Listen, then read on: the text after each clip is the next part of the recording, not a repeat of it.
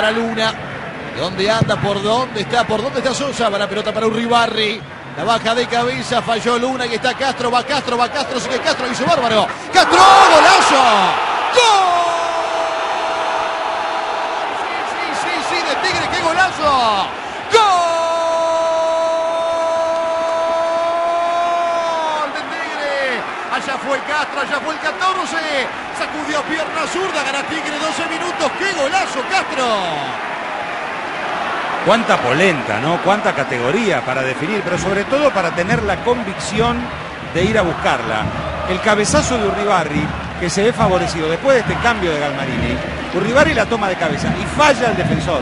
Le pasa la pelota por abajo del pie. Después Castro gambetea a dos hombres y mete esa pelota imposible de detener porque es un misil, es un balazo. Fernando Luna dormido, le pasa la pelota por debajo de la pierna. Después el defensor de Belgrano no lo puede parar, es Lema. Y el bombazo de zurda. De izquierda al centro, momentáneamente Barbieri. Va al centro para Velázquez. Ahí lo tenés, la dejaba pasar para Wheeler. Pide mano de Lima. Penal, dice el árbitro. Hay penal para Belgrano de Córdoba.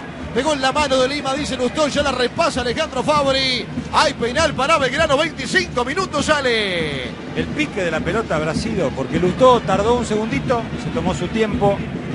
Seguramente por el intercomunicador coordinó.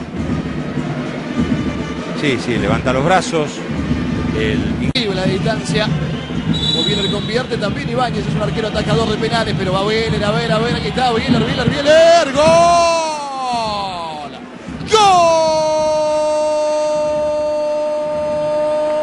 Sí, sí, sí, sí, de Belgrano.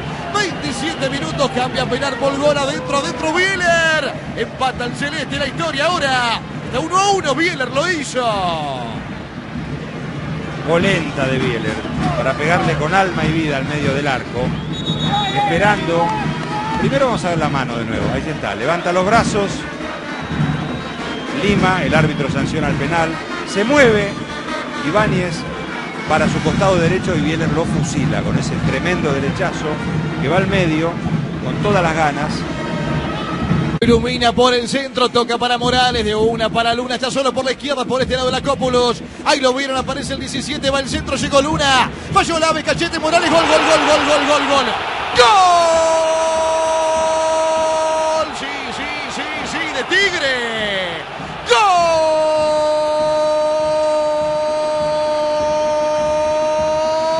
¡Gol! De Tigre Morales.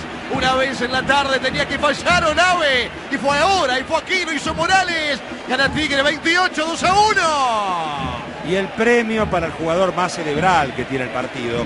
Todas las pelotas que toca Diego Morales tienen un sentido, tienen una categoría, tienen un pensamiento. Bueno, por eso la evolución de Morales en el juego y el aplauso de la gente. Un gran derechazo tomando la pelota rechazada por Olave, que la deja corta. Los defensores no atiran a marcar al receptor, tapan solamente con su presencia física y el partido se pone en el resultado que debió haber tenido hace rato. No